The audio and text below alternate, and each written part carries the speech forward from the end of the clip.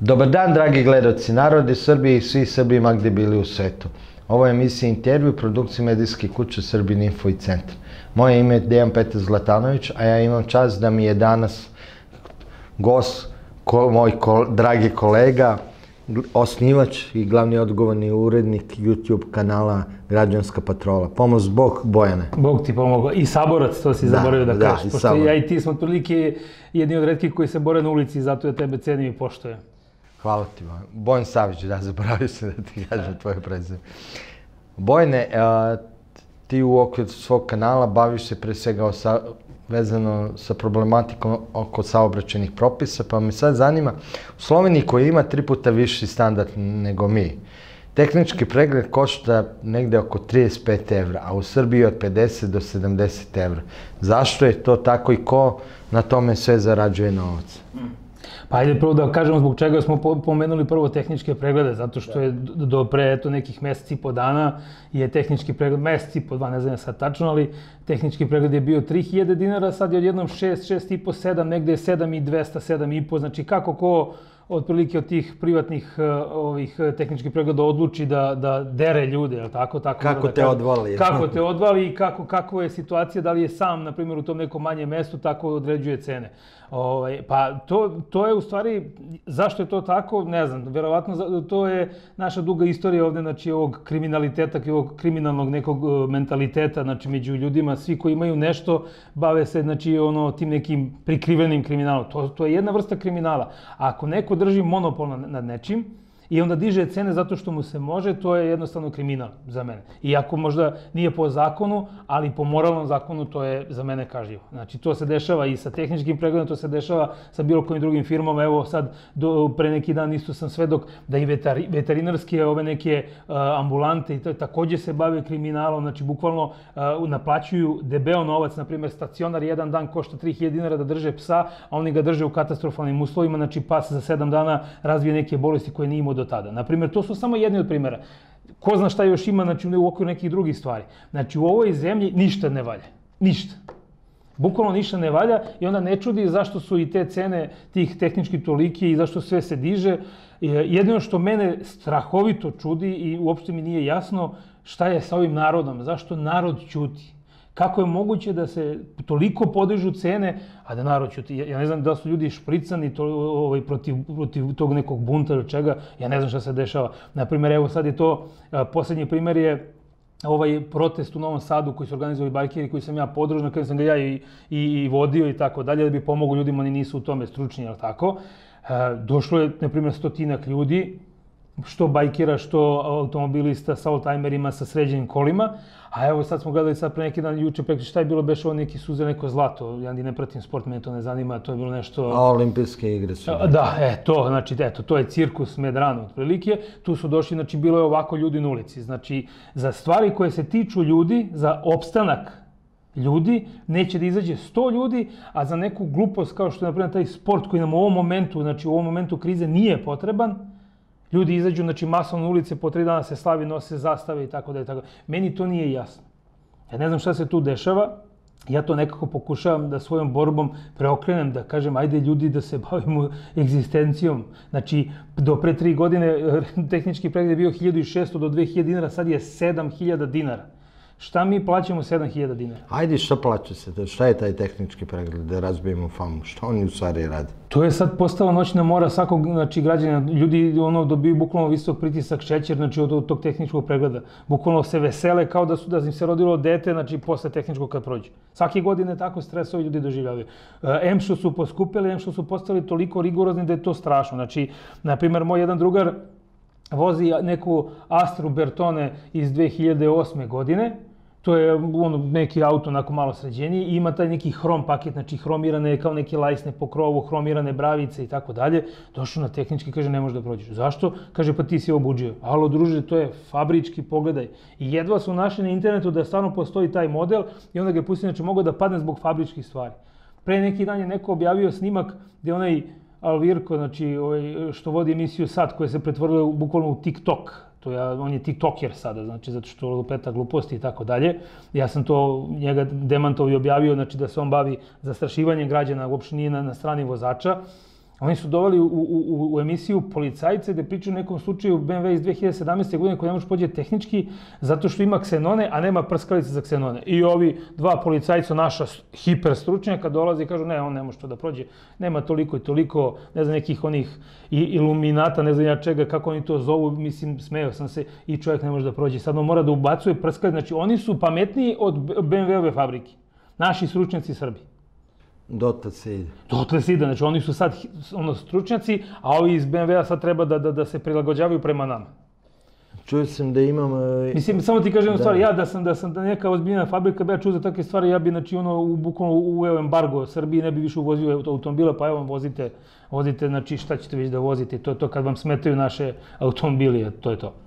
U stvari, ako sam tebe razumeo dobro, Bojene, da. oni su, što rade, podignu cenu tehničkog pregleda, onda pove, urade rigoroznije taj test i ljude zamajavaju da li će proći, neće proći, a da ne razmišljaju o samom tehničkom pregledu koliko košta. Pa da, to je neki vid zastrašivanja zato što uh, onda prave da je to neka ozbiljna stvar, taj tehnički pregled ljude zastrašuju, onda ljudi budu srećni što su prošli tehnički i onda zanemare to što su plati 7000. Razumeš? Ako bi oni, na primjer, sad ti platiš 7000 i prođeš, kao što je nekad bilo mnogo lakše, onda bi bilo kao, pu, lopovi, levo, desno. Ovako, znači, on kad prođe tehnički, on je sav srećan i čuti, nema veze 7000, bitno sam ja prošao. I tako iz godine u godinu i nama odoše godine života. Znači, evo ja mogu da pitam ljude da lepo pogledaju svoje najmilije u oči, da pogledaju sebe u ogledalu u oči duboko i da pitaju sebe sledeće. Kaže, imam toliko i toliko godina, koliko još godina mogu da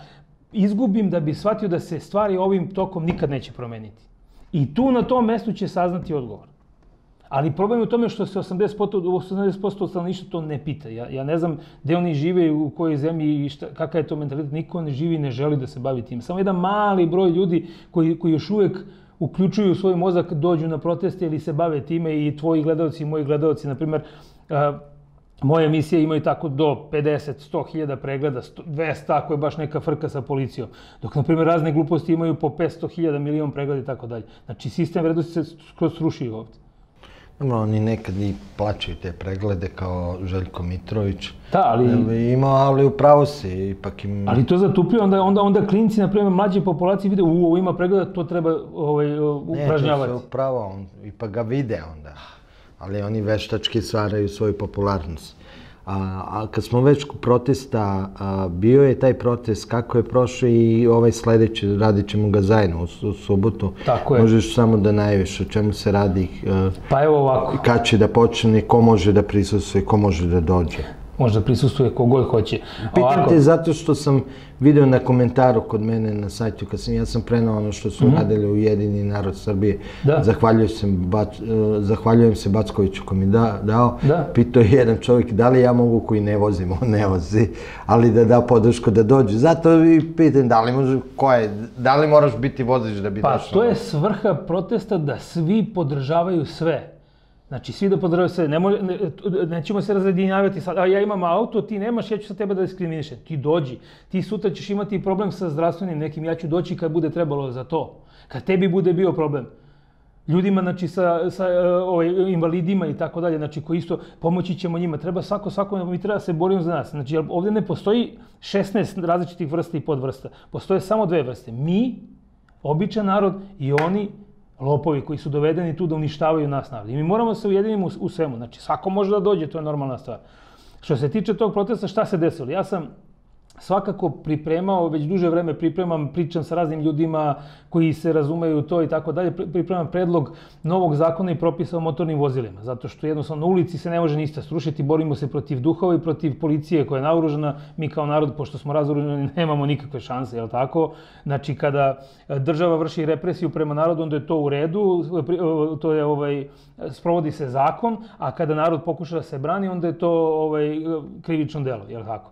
E, onda ćemo se baviti na drugi način, napravit ćemo odnosno ja ću sastaviti taj novi predlog zakona i propisa o motornim vozilima, gde ću izneti ljudima putem svojih nekih medija, da ćemo to proširimo na predlog, jel tako, da i oni se izjasne o tome svemu. Kada to bude sve bilo gotovo, to ćemo predati u Skupštini taj predlog i daćemo im određeni rok tipa 40 dana da se izjasne po tom pitanju, da li prihvataju ili ne prihvataju. Ukoliko ne prihvataju, nećemo mnogo se raspraviti oko toga, koliko ne prihvataju, ja ću pozvati ljude na masovnu, ovaj, na masovni bojkot, jel tako, znači, i registracija i ovaj, uopšte znači, tih ta, registarskih oznaka. Naprimer, uh, najjednostavniji vid bunta je bio da svi jednostavno skinu tablice i to je to. Jako je registro, nema veze, skine tablice i onda svi ovi njihovi napori da nas drže pod kontrolom, sve ovi milioni koji su uložili ove špijunske kamere koje nas snimaju više nemaju smisla.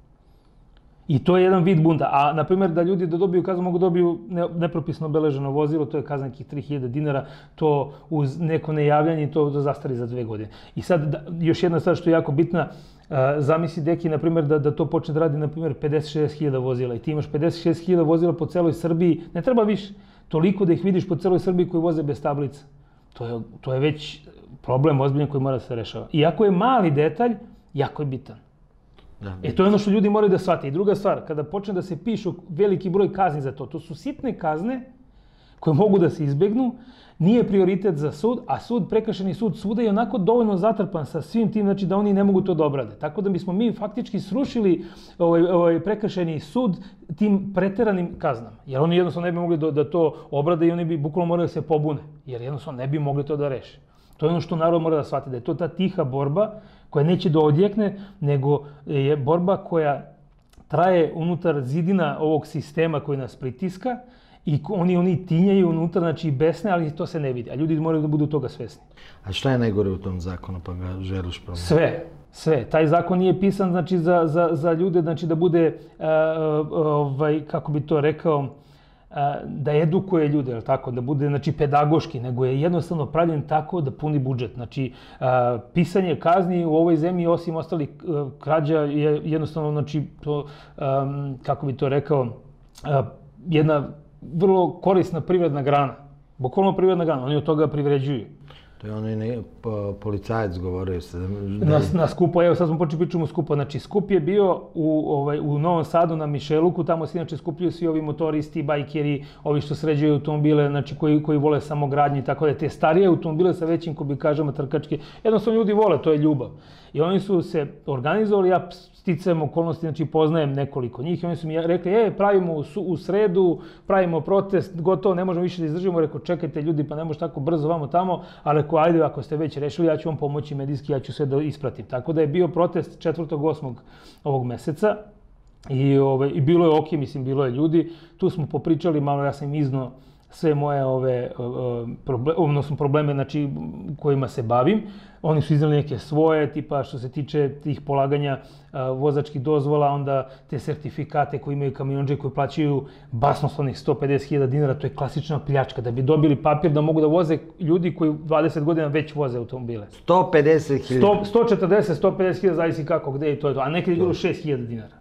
To je stvarno pljačka. Pa čemu, zašto plaćamo 150.000? Čovjek koji je šofer koji radi za drugoga, treba da skupi hiljadu i, po, eh, hiljadu i nešto evra, da plati, da mu kažu, e, super, sad može da voziš. To je pljačka.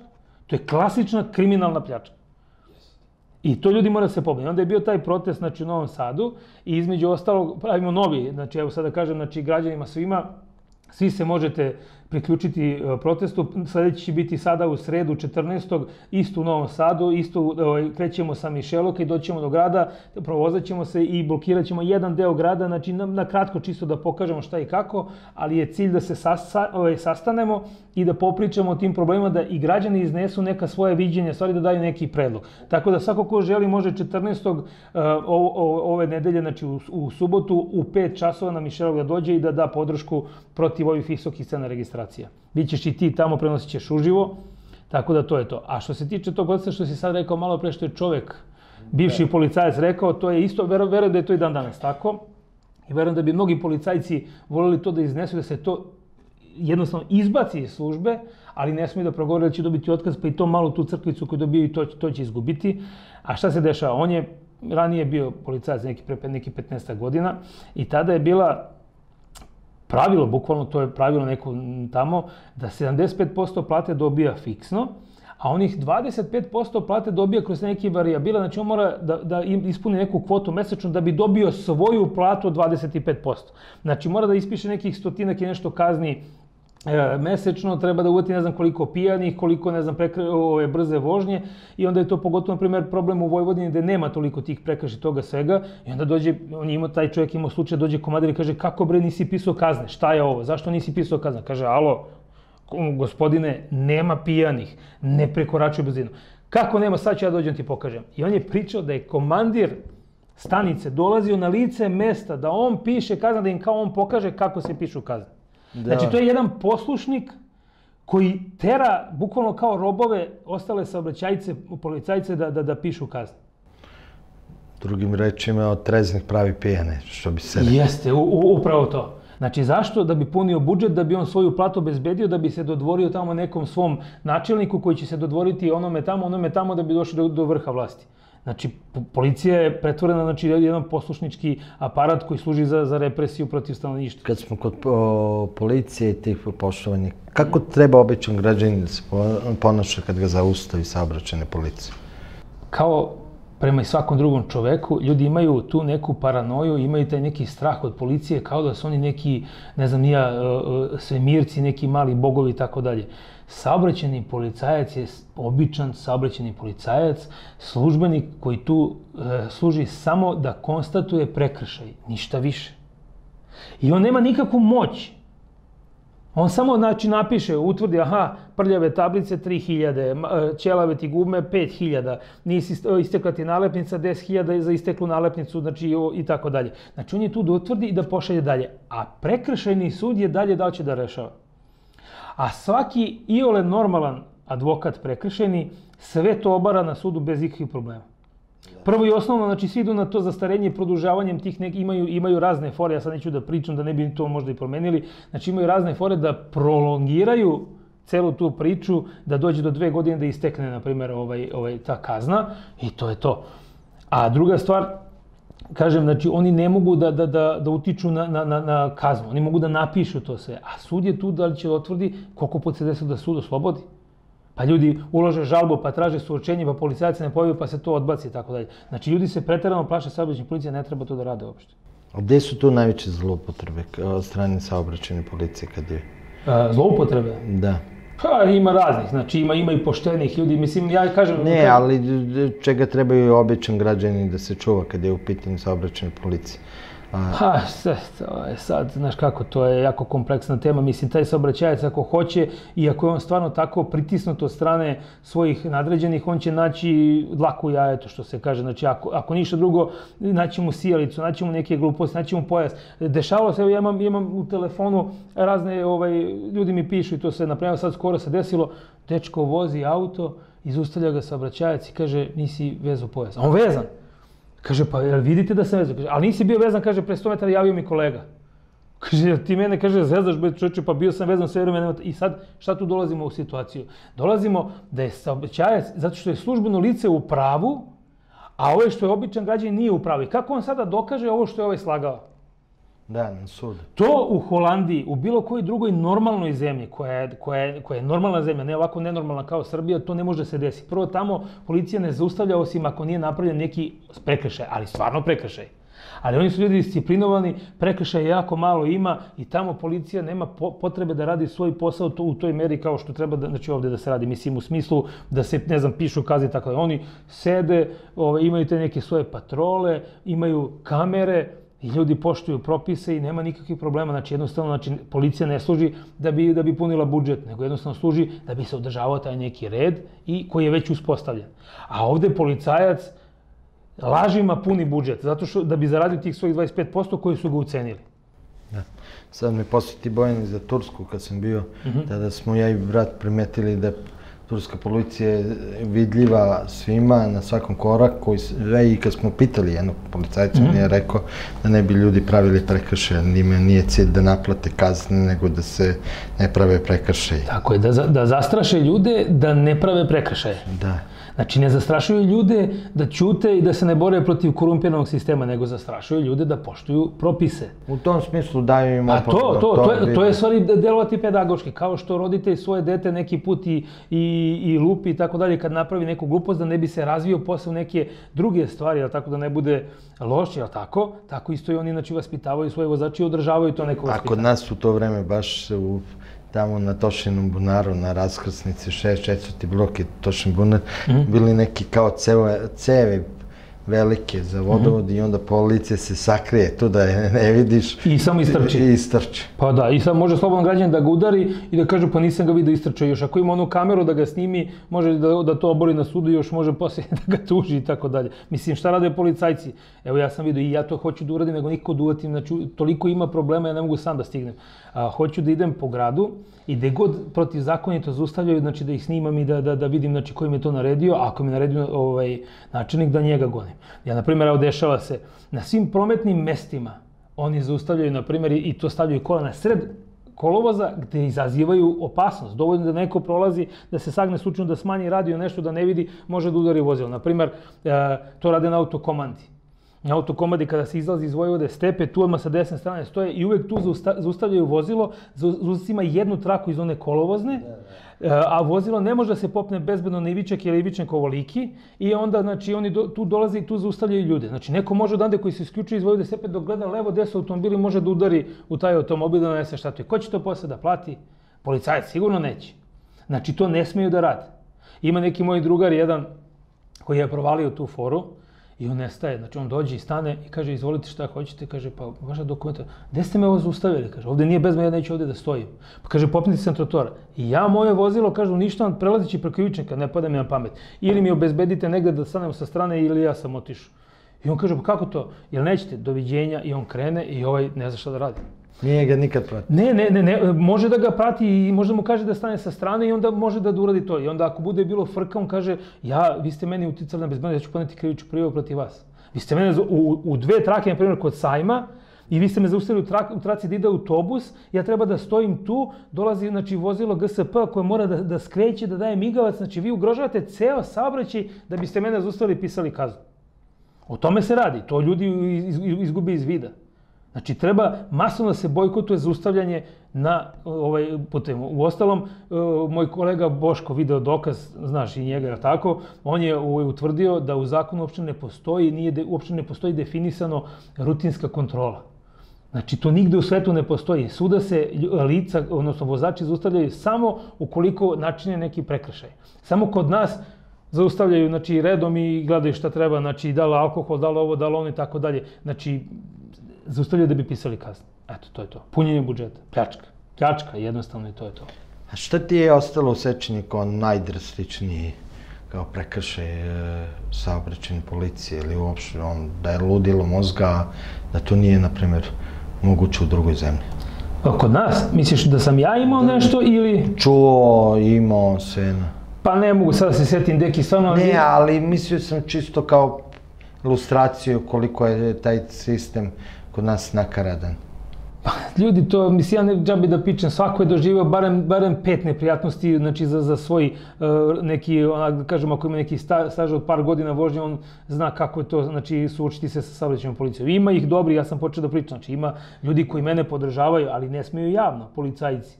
I ja s njima sasvim normalno pričam, sasvim Šta normalno ti komuniciram. kažu oni? Koji? Ti koji su normalni dobri. I, e, pričam kao sa tobom ovako.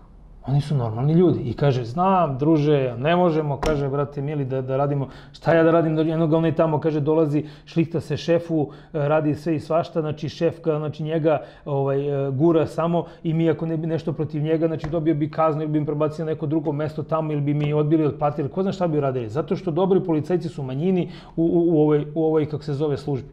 Imamo ne znam koliko ih ima, 15-20, znači sindikata policije, od toga možda jedan, dva su za narod, ovi ostali su svi znači, ono, protiv naroda, a sve znači, u, u, u ovaj, u, u korist e, ove, o, kako se zove, režima, znači ove, ove vlasti, ove ovako. Znači bilo je, bilo je na primjer, e, slučajeva gde su neki ti korumpirani ovaj, sindikati pisali kako nas treba mene i Boška uhapsiti, kako mi vređamo službenike, kako mi ugrožavamo bezbednost, kako to treba pod hitno da se reši. Znači, to je bilo ono halabuka teško oko svega toga. Mi, mi imamo po zakonu pravo da snimamo ovaj, službeno lice u vršenju dužnosti. Ne, ne mi kao novinari, nego mi svi kao narod.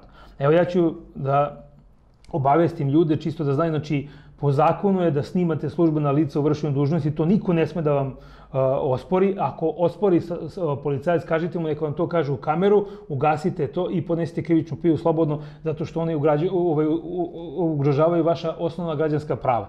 A druga stvar, po članu 221.5 zakona o policiji, spolješnju kontrolu rada policije čine građani i javnost. Znači, vi kao građani možete da snimite službeno lice, da iznesete to u javnost i da javnost to osudi i tako dalje.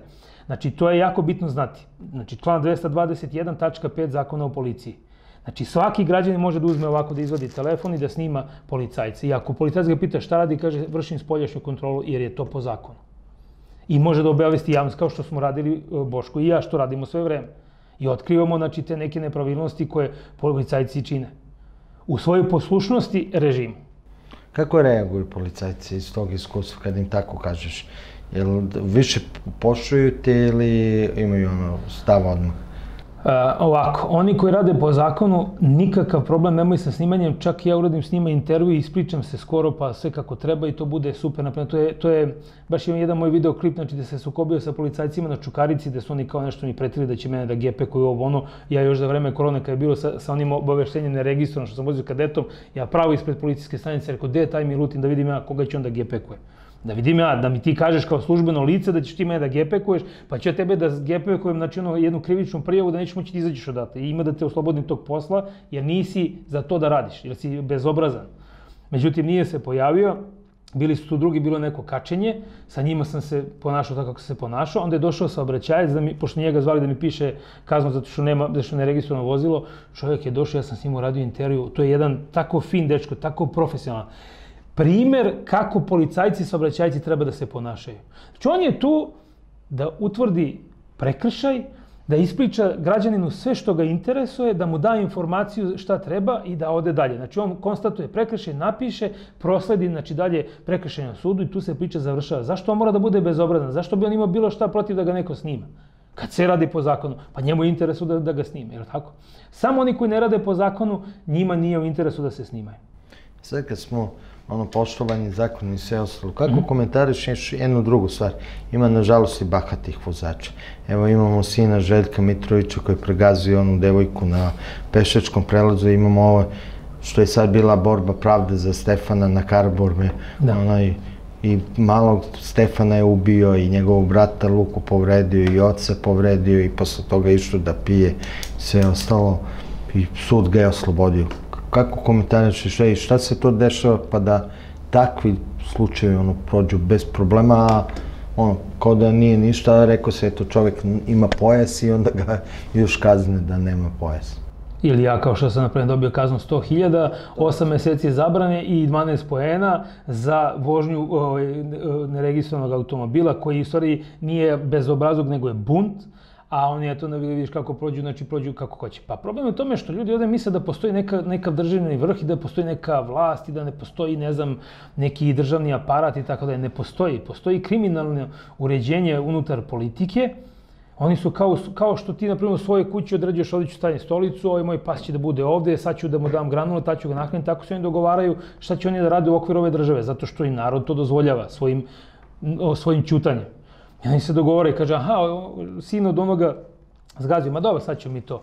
Zove sudiju, kaže, slušaj, to i to da završiš i neću da vidim. Sudija šta će, kaže, dobro, u redu, zato što on prima platu. Da kaže, ne, ne hoću da ga osudim, kaže, koga će ti bre osudiš? Ispakovaći doviđenja, tako je bilo, daj drugog koji će da sluša. Znači ja sam imao okrešaj sa tim nekim Pavlicom, znači ovaj, tako se predsiva taj neki prekršajac koji je ono totalno ovaj, režimski čovek, znači koji svima živima piše kazne, koji je pisao masu kazni kad je bilo ono ovaj, ovaj, policijski čas i tako dalje. Znači to je čovek koji se prodao Znači čak i nije, čak nije dobio neki ekstra novac i to sve, nego se prodao samo da ima sigurnu platu.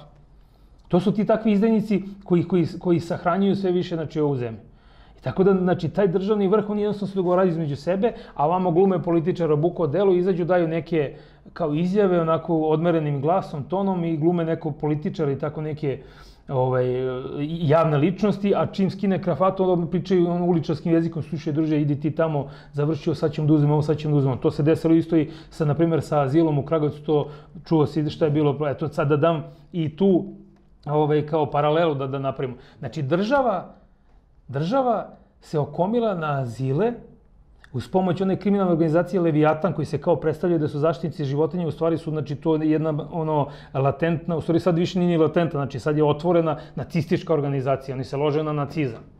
Znači imaju svog vođu koji je jevrejskog e, porekla, koji ima na, na ruci stetoviran ovaj grb jedne od najzlogašenijih ovih e, jedinica ovaj, za vreme drugog svetskog rata. Imamo, znači, isto u svojim redovima ima jednog Roma koji takođe ono baca zihajl po ulicama i tako dalje. Znači, brukaju svoj sobstveni narod koji je najviše stradao u drugom svetskom ratu. Takvi ljudi vode jednu organizaciju, Oni su napravili video snimak montirani gde se u, u, u Kragujevcu, znači odnosno u mestu Čumić, ima postoji uh, azil koji se zove Vučjak Shelter, gde čovjek drži više od 1200 pasa, spašava ih, država mu nikad nije pomogla ništa, ni jedan jedini dinar. Napravili su video snimak kako on ubija životinje i to sve, objavili. U roku od jedan dan došla je uprava kriminalističke, odnosno ja kako izovem, kriminalne policije i na najbrutalniji mogući način su ga uhapsili. Tu je bio i ministar. Bio, e, sad idem redom, znači došli su znači, oni sa policijom, znači sa fantomkama, uhapsili, bacili ga dole, došla je televizija, snimili su to brutalno hapšenje, o, svi ovi režimski mediji su to objavili i onda je došao ministar policije, ja neću da mu izgovoram na ime prezime, znači zato što mi neću prljam usta sa njim, niti bilo kojim političare. Došao je i tamo, znači, ono, uklopio se u lavež pasa i on je tamo lajao o tome kako to sve, ovaj, je tako i tako, kako je ubica, kako je tu bio, kako je to sve istina. I oni su jednostavno napali čoveka, odredili ga za linč. Šta se tu stvari desilo? Desilo se da je država htela da, da te sve privatne azile, te najveće, uzme pod svoje, da uzimaju te donacije, znači, koje dolaze iz inostranstva, koje nisu male, ali opet su mnogo male za to da bi se održao taj broj, broj pasala, njima je to, eto, da kažemo, zinu novčanik za pare, jel tako? I onda su hteli da otmu taj azil i sve ostale azile da, da, da približe, da uzmu donacije i ono što si ti otkrije isto, e, Evropska unija daje velike sredstva znači, za spašavanje životinja. Znači, da uzimaju pare od Evropske unije putem kao zaštite životinja i znači dokle to ide, dokle su oni alevi da čak i azile hoće i to malo što im je za, za kikiriki i semenke odnosno nove registracije, oni i to hoće da uzmu. E, ali eto, nisu računali na to da ja pratim taj azil, da tog čovjeka pratim već godinu i po dana preko Instagrama, da znam kako radim, da se ja pojavio na licu mesta. Tamo je bila policija, ja sam došao, šta radite vi tu? Pa kaže, tu je, čuvamo azil, pa gde vam je nalog, jel imate traku, pa kaže, obratite se tužilaštu, jer ako imate, to je uspeno, tako, jel imate vi pismeno? Dajte mi meni papir ko je potpisao da vi stojite ovde, znači da uzurpirate privatan posed.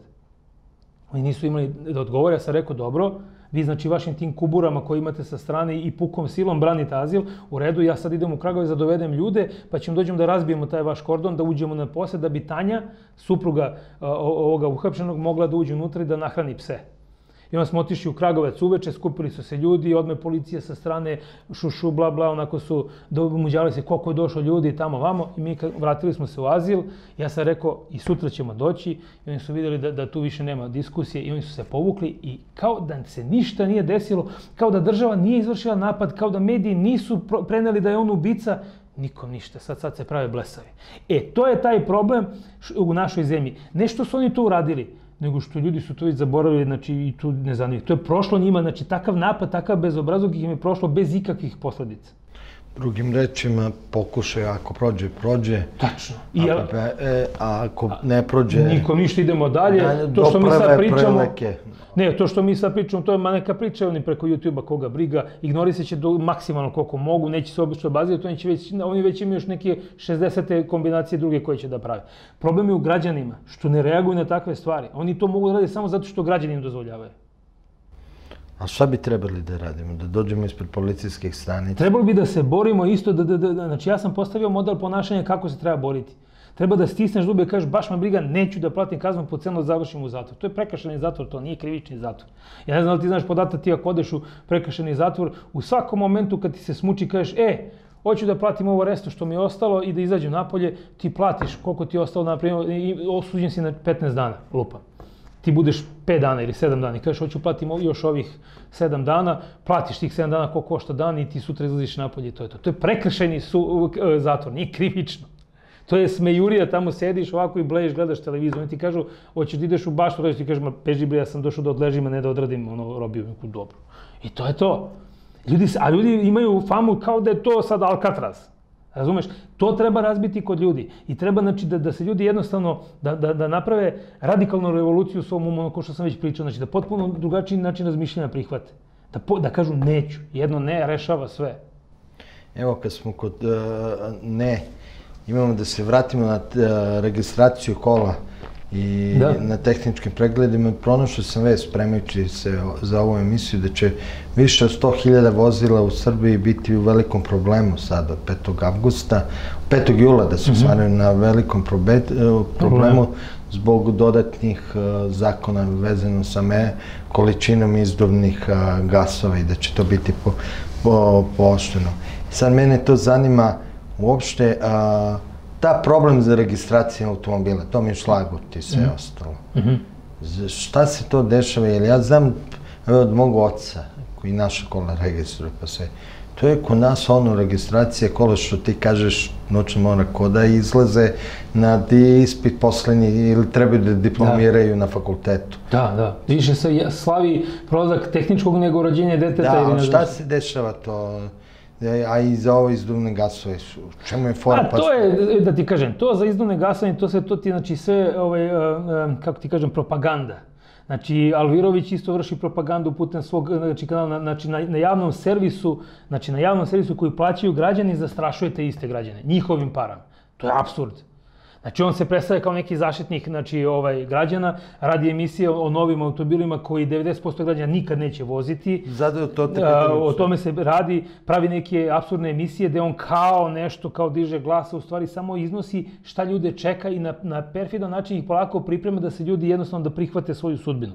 Eto to radi Mirko TikToker. Odnosno nije Mirko, nego je njegov mladen se zove, ja se izvijem. Je... Ali kad je u pitanju registracije kola, imamo i taj problem sa a, Samo da kažemo da. za, za izduvne gasove, su kaže da će biti u problemu. Ljudi su već sad u problemu. To je samo propaganda, samo, samo još više produbljuju taj strah i kažem ti, znači više, da, da, da ne bude varijanta da ti plaća, što ti plaćaš 7000, nego da uopšte ja samo da prođem. I kad prođeš ti si srećan, ma nek sam ja dao 7000, bitno sam prošao čeče, treba mi auto. I oni, znači, na taj način zastrašuju građane. Ali šta je to ko, konkretno, šta će se desiti? Šta, pitam i zbog nekih oldtimera. Da li, na primjer, moj otac vozi Suzuki koji je star skoro 20 godina. Tako. Dobro.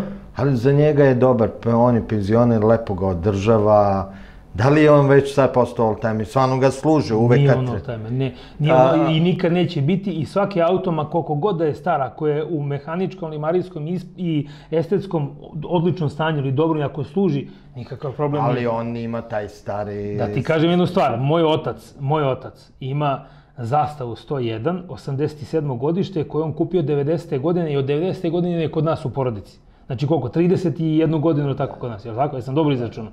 31 godinu auto kod nas. Znači auto je ispravan, tehnički, ja, ja mu održavam to lično, ima gas, znači e, ekološki, iako je stari, brate, tip motora, on ima Euro 4 standard čim se ubaci gas. gas. I šta će njemu penzioneru sa, sa sramotnih 20.000 dinara koje je dobio, pošto je vozio 35 godina uh, cisternu na gradilišta koja su gradila ovu zemlju u ono vreme kada se stvarno gradilo kako treba, znači on je dobio 20.000 dinara penziju, šta će njemu bolje auto od toga? Jer to je za njegov standard, taj auto. I zašto onda neko da mu zabrani da voze taj auto? Zašto da mu zabrani? Kad on može da ga, tom, samo tom penzijom može samo taj auto i da vozi i da ga održava. Kad oni njemu budu dali penziju 80-100 hiljada dinara, pa brate, neka zahtevaju da vozi auto star 10 godina. I neka, neka zadovolja ne znam kakve standarde. Prvo daj, pa traži. Ne možeš da tražiš, a da ne daš.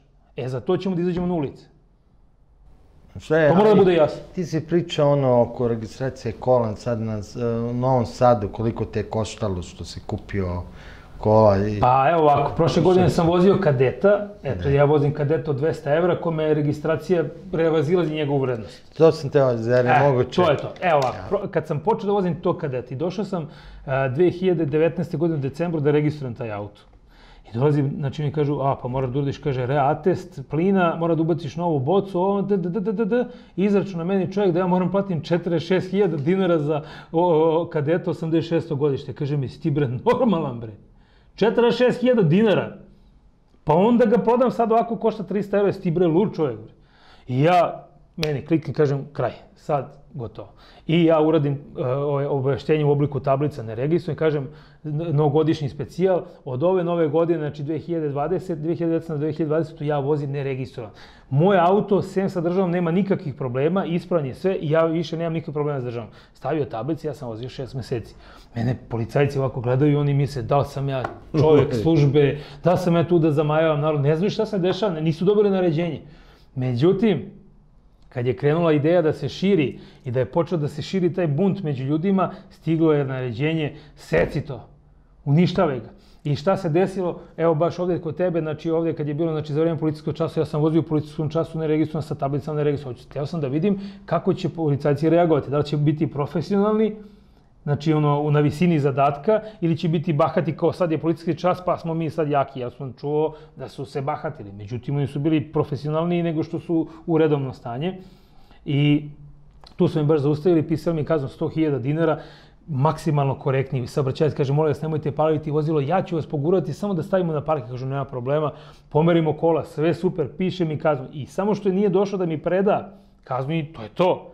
Dolaze dva inspektora sa rotacijom, izlaze dva kriminalca u policiji, znači koji su korumpirani, čuo sam kasnije da su e, bili suspendovani pa su vraćeni na posao jer nije bilo dokaza, znači ko zna šta su radili, poslušnici jednostavno, prljavi, znači koji završavaju te prljave poslove, poslo ih je na, zamenik načelnika ove ovde stanice, to sam posle saznao, ove ovde stanice. Mike Evros. Mike Evros, da, to je ovde blizu. Poslao ih je da bi mene zastrašili, da, da me kao odvrate od toga. Ko zna dakle je to stiglo to naređenje. I oni su pokušali mene zastrašiti, naravno oni me ne mogu zastrašiti, ja znam zakon, da sam ja njih isprovocirao I oni su me uhapsili na brutalan način i ja sam to, ja sam to snimio. Oni su mi obrisali telefon i obrisali diktafon, ali oni su glupi, znaš, nisu toliko uh, uh, elektronski pismeni, pa nisu znali da to može da se vrate ti podaci, znači da to se ne briše, to se obriše ovako vidljivo, ali to ostaje na hard disku, znači postoji način da se to vrati. Ja sam vratio snimak da mi oni psuju i decu i deru se, znači na najgori mogući način to nedostojno, znači ljudsko bića kamoli nekog službenog lica koga je država vlasta da radi taj posao. I povrh svega, Dok sam bio u kolima vezan, znači rukama pozadi lisicama, on me udario, znači rekao mi je, čuti bre govno, jedno moram da citiram, sad da psujem, i udari me desnom rukom u, u, u levo uvo i napravi mi perforaciju bubne opne, znači probio mi bubnu opnu, ja sam ordinao operaciju, dao sam 86.000 dinara za operaciju. I to su ljudi skupili donaci, znači ja ne bi imao time da platim, ostao bi invalid. Zašto? Zbog poslušnika znači, koji rade u policiji, koji tu ne bi smeli da budu ni malo. Da je normalna zemlja, da je normalna zemlja, oni bi bili sklonjeni sa strane, znači u roku od, od dvo, dva sata. I odmah bi se utvrdilo šta se dešava, suspendovani i dalje bi išli znači, na suđenje i ko zna šta bi se desilo. Međutim, ova Srbija on i dalje dan, danas radi. Sad skoro sam imao ročište pre neke dva, mese, dva meseca, on se pojavio na suđenju, pita ga sudija ko ste i kaže ja sam svedok. on je došao sam sebi da bude svedok na suđenje. Pa to nema nigde. Ali ajde da se vratimo na ovaj kadet što sam ti pričao. I onda sad, pošto sad te kadet je ne registrujem, ja neću ga registrujem, odnosno hoću, ali po novom registraciji, znači kad bude bilo, kad budemo skinuli cene registracije, ali da bi mogu da vozim, da nerviram i dalje policiju i državni vrh, ja kupim isti takav kadet za 200 evra, registrujem ga kompletno, čisto crveni, isto, sve, sve isto. I bila ideja, dok je bio Boško video dokaz tu prošle godine, ja sam ga tad kupio, bila ideja da mi sedemo koli, da idemo po gradu i da vršimo spoljašnju kontrolu rada policije. Znači, da god ih vidimo da ih zaustavljamo, ali da ne snimimo da je registrovan auto, nego da ispadne kao da ja sa neregistrovanim auto jurim policajci. Onda bi se ovi u vrhu nervirali, znaju da je registrovan, a oni nemaju medije da objave kao pa ovaj vozi registrovan. Naravno, kasnije bi to objasnili, ali to je čisto vid sprdnje, znači, sa tim poslušnicima da im pokažemo da da ih se ne plašimo, da su oni jednostavno najbičniji kriminalci, da će kad tada odgovarati. Znaš. Međutim, eto, Desio se, nisam to uspeo, počeli su oni nemiri 7. jula i to je tako ostalo. Ja sam tada platio registraciju, znači uradio sam reatest plina, uradio sam znači, sve što treba, platio sam re, registraciju sve zajedno dal 55.000 je izašlo i plus nešto, izašlo 24.000 atest za plin, 20.000 izašlo znači ovaj E, registracija sama, e, prenos vlasništva znači nekih 6000 i, i nove tablice na sebi nešto 55-60 hiljada izašlo znači registracija za taj auto koji sam platio 200 evra. I to sam kupio ljudi kod kojih je bio 20 godina koji više nisu hteli da ga registruju zato što mi se nije isplatilo, došli mi reatest, oni izračunali ljudi kažu pa gde ću dajem 50.000. To nameno rade zbog uvoznog lobija. E, Ne, oni to rade, e, oni to rade, pa i moguće da je taj uvozni lobi, to sve ti, ti autoplacevi, to sve, ja bi to znači stopirao na dve godine, pa onda pustio pa malo pa stopirao, zato što na taj način se iz- iznose pare iz zemlje koje se nikad neće vratiti, znaš. Ti imaš autoplac koji dođe, znači uveze tu, ne znam, 20-30 automobila, oni htjelamo plati po 3, 4, 5 hiljada evra, puta ne znam koliko vozila, samo jedan iznese ogromne pare iz zemlje, znači on plati, on ostaje u Nemačkoj pare, uveze automobile. Onda ovde, znači, proda ljudima, zaradi i ponovo ode i kupe, znači oni iznose pare iz zemlje. Ja bi to znači stopirao, brate, te, znači te, te, te polovnjake i tako dalje, dok se ne vidi šta će i kako će dalje sa automobilskom indus- industrijom. A, a to je zaštita lobija nije samo to, nego da ti kažem jednu stvar. A, taj atest za plin, znaš zašto su izmislili? Moje neka viđenje stvari. Zato što em, plin košta 80 i nešto dinara i to je skupo, ali košta 80 dinara, a benzin košta 160. Na plin možda uzmeš akcizu 40 dinara, zato što uzimaju pola akciza, znači njima za njihove potrebe za lopovluk, a na benzinu pola od, od, od 160 je mnogo veće, jel tako, na, nego na, na, na plinu. I zato oni hoće da unište plin i hoće da goraju ben, ove, ove, ove tečne derivate kao što su benzin i dizel. Ja, tu, tu je cena, 160 dinara, pa pola od toga uh, po litri, znači ovako. Evo neka izračunaju ljudi, ja sam rekao, stani na most na gazelu, jednu traku, ne, ne tri trake, jednu traku broji za sat vremena koliko prođe automobila, izračunaj neka svaki u proseku, znači sipa dnevno po 500 dinara goriva, pa ti izračunaj koliko to para u jednoj traci za sat vremena. A gde je cela Srbija? To su pare koje ne mogu da stanu ne u ovaj tvoj studio, nego u ovu zgradu ovde. A ljudi to ne znaju i ne vide kolika je to pljačka u stvari. Ne, ja sad... Ja samo ovo što pričam, ja sad izazivam opasnost jer mnogo pričam, jel tako? I onda može svašta da se desi, ja bih volao da dođu, ja sve čekam, međutim, nikako da se desi, onda ljudi misle da ja radim za njih. A, Znaš, to je kod cene benzina, tu si Mhm. upravo, ja sam doživio neku vrstu šoka. Ajde, Rusija stvarno ima najviše nafte i treba biti jeftino. Ali da A je, mi ne- naj... ali da je najskuplja e, benzin u Rusiji samo 60 dinara, a da je plin najjeftiniji taj gas i nešto Da. oko 26-7 dinara. Pa oni imaju nas- svoje. Da, ali da je razlika 100 dinara ipak je ogromna. Vidi ovako da ti kažem jednu stvar. Oko To toga. nije 50%, e, to je, da je Mnogo. 50, to bi bilo 120. Oni znači 100 dinara uzimaju. Tako je, ali slušaj sad ovo.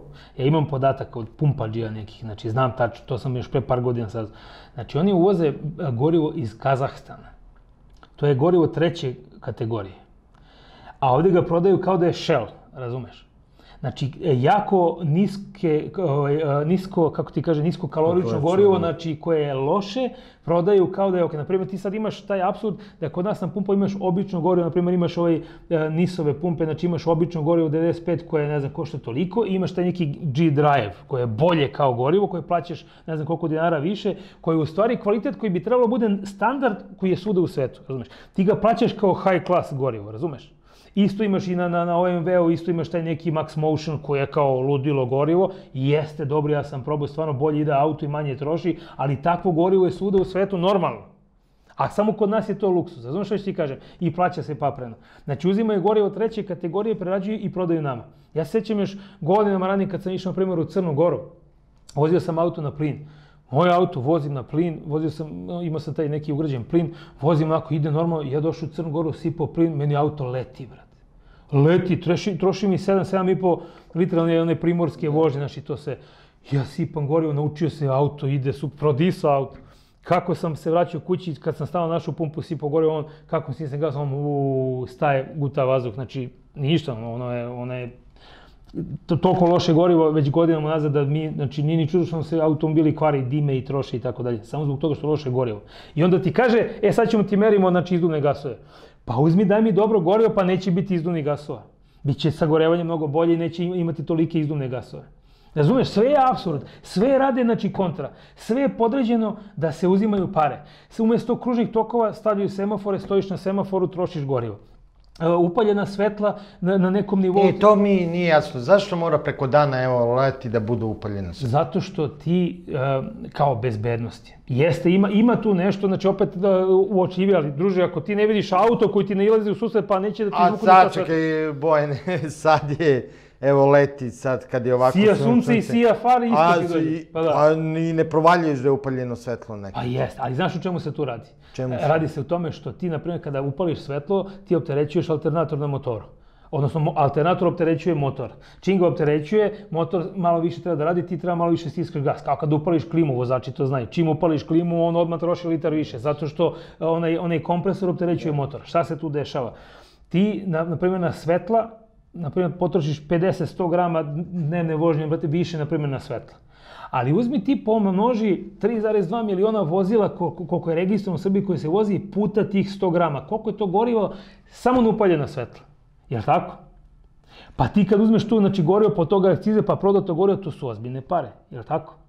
Zašto lupaju cene za motocikle, bicikle s motorom, znači registracije to sve? Zašto ne stimulišu ako su mnogo bolji i, i više struka koriste od njih? Zato što manje troše. Sve je podređeno tome da se zarađuje novac, da se krade, da se otima. Alavi su. Razumeš li? Ceo saobraćaj je podređen tome. Evo ti imaš jedan grad, e, u, de, de, da li u Austriji ili, ili u Švajcarskoj, ne znam ta sad tačno, zove se Kur, tako se čita, Kur, tako nešto. Uzmi, nađi na mapi, evo i građani mogu da ukucaju e, CHUR, tako se piše.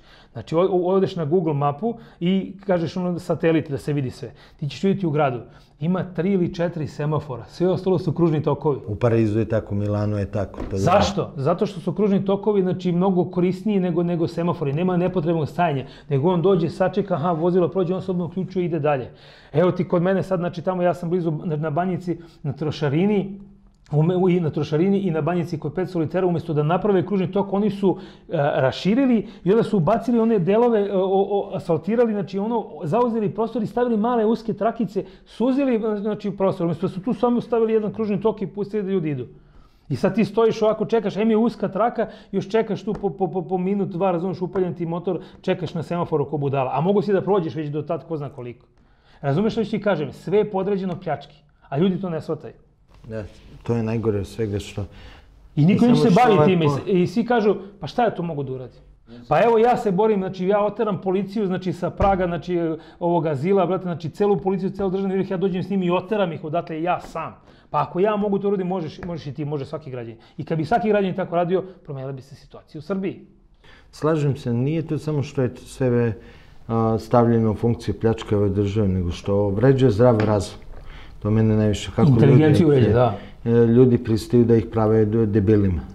Pa vidite, ti kažem jednu stvar, ako to tako prolazi, onda, onda je, brate, znači, vrlo upitno da, da, da, da tih nekih 60-70% i nisu stvarno debili, mislim, to nije uvreda. Mislim, i debili, i retard, idiot, i kreten, to su sve medicinski, znači, e, termini, je li tako? Znači, ako neko, neko, neko nekog pritiska, e, uništava ga sistematski i on ćuti, onda je on debil ili kreten ili koji god, znači, naziv, jer normalan čovjek nije. Normalan čovjek se bori, je li tako? Kako su naši stari, znači ono, za vreme Prvog svjetskog rata, znači kad su im rekli treba da dolazi, ne znam, uh, Austrougarski ili ne znam, dolazi ovako ili onako, kako se zove, ovaj, idemo u boju, oni kažu, šta, ja te mogu da poginem tamo, pa neću ja da idem. Šta bi onda bilo? Nije, nego su uzeli pušku i borili se, on dolazi na moju teritoriju da me, da me okupira, pa neću da mu dam po celom života, bre, branim svoju, svoju teritoriju, svoju decu, bre, znači. A ovi ljudi ništa, oni kažu, idem ja, kažu, u inostranstvo i to je to. Da, pis bradar, što bi se rekao. Pa da. Ajde da ponovim razlog zašto sam e, ovu emisiju pravim. Znači, preko sutra u subotu u Novom Da. Sadu. U Novom Sadu, znači novi skup e, protiv visokih cena registracija, goriva, tehničkih pregleda i svih ostalih nameta vezanih za, za, za vozila. Znači, ja znam da postoji mnogo i drugih problema, ali evo od nečeg mora se početi. Znači, pozivam, evo ovim putem pozivam sve građane da dođu u Novi Sad, e, da se pojave. Nećemo mi nešto praviti neku gužu, neće tu biti tuče, neće biti ne znam ja kakvih nekih ekscesa. Jednostavno treba da se pojavimo, da snimimo to, jer mi živimo doba, znači, jel tako, e, digitalno doba, znači informacija se prenosi ovim putem, znači da snimimo da nas ima dovoljno koji smo nezadovoljni i da kažemo, znači jednostavno tim skupom, znači ovima koji nas e, tlače, jel tako, da više nećemo ovako da živimo. Znači u subotu 14. Od, u, do 17 časova je skup na Mišeluku. Odatle, Od 17. E, Do 17. Znači, do, ono pre toga neka dođu do 17 i onda ćemo tu od, od 5 sati ćemo otprilike početi prenos, skupit ćemo ljude, popričat ćemo sa ljudima na temu šta njih muči, možda ima neko neki svoj predlog, da unesemo taj novi predlog zakona i propisa i, I to, to se, znači, mogu da vam se obrati ljudi koji imaju možda Pričat ćemo. ideje. Ideju vezanu sa... Tako je, ovo nije, znači, ovo nije znači, sad neka politička, ova, kako se zove, stranka, pa da sad imamo jednog predsjednika koji sve misli i ima samo istomišljenika koji ga slede. Ne, ovde se mi dogovaramo, znači, prava, pravcata demokratija. Jel se slažete vi sa ovim cenama registracije? Ne slažemo se u redu, ajde da vidimo koja je znači, za nas društveno prihvatljiva. Znači, za sve nas. Šta kažete? Ajde kažemo, to i da iznesemo vam u Skupštini da imamo. Pa ako oni neće, koji su plaćeni da rade to što im mi kažemo, e onda ćemo mi da se pobunimo, jer nas ipak ima više. Ljudi mora da shvate jednu stvar, da dokle god oni lažu i mažu na televiziji, dokle god moraju da lažu i mažu, oni nemaju punu kontrolu. Onog momenta kada budu okupirali ovu celu zemlju, kompletno oni više neće morati da, da, da lažu i da mažu, tako? Ne, da vidim da su Nemci vreme drugog svjetskog rata kad su bili da su oni puštali televiziju ili razglasi to sve ili imali pozorište i sportiste, nisu imali, nego su rekli, brate, znači ko pipne Nemca, sto ljudi na jednog Memca i čao, je tako? Znači, dokle god se to ne desi, mi nismo pod okupacijom, imamo neke šanse. Zato ćemo se skupiti to, u, subotu, znači preko sutra, znači da, da to pokažemo. I ja pozivam isto ovim putem ljude u celoj Srbiji, znači u svim većim gradovima i manje nebitno, da se samo organizuju, da i u svojim mestima organizuju te proteste, jer evo mi smo organizovali sada u sredu um, protest, nismo prijavili, policija se sama pojavila i pitala nas kuda ćemo da idemo da nas oni isprate. Znači, što je neko napisao na internetu, to je bilo jako mnogo dobra misao, kaže, zabranjen skup, znači preko 20 ljudi, osim ako se ne skupi mnogo ljudi, onda nije zabranjen. E, to je to. Spontano okupljenje. Spontano okupljanje, tako je, to je to. Eto, znači, vidimo se tamo, ti ćeš biti, znači, prenosit ćeš... Da, zajedno ćemo biti. Da, na ulici kao i uvek. Kao i uvek. No, pro, prošli put nisam mogu, bio sam na odmoru. A dobro. Na odmoru, odmah. Pozdravljam sad ljude iz Jadra koji se bore hrabro protiv Rio Tinti i koji da. ne pristaju da daju svoje imanja tamo, to je strašno, a o tome ćemo... Pa evo, evo ja samo da moram samo tebe da, da pohvalim, evo ti imaš i zdravstvenih problema i prelažao si koronu i zbog toga imaš problema i ti si opet na ulici, znači ti koji imaš zdravstvenih problema si na ulici, ljudi koji su zdravi neće da, da dođu. E to mi nije jasno, zato pozivam sve ljude da dođu, jednostavno nije problem pojaviti se na tom mestu, znači da se da podrška, da se pokaže da više nećemo ovako da živimo. Slažem se. Hvala još jedan po Dragi gledalci, ovo je bila još jedna emisija u produkciji medijskih kuća Srbin Info i Centar. S nama je bio Bojan Savić, urednik građanske patrole. Moje ime je Dejan Petar Zlatanović. Za narod, za Srbiju ove godine u Prizrenu. Pozdrav!